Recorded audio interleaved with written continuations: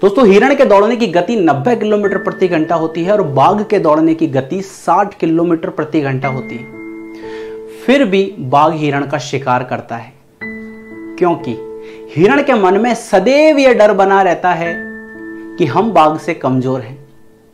और यही डर के कारण वह बार बार पीछे मुड़ के देखता है, इस वजह से उसकी गति और उसका मनोबल कम होता है और वह बाघ का शिकार बन जाता है।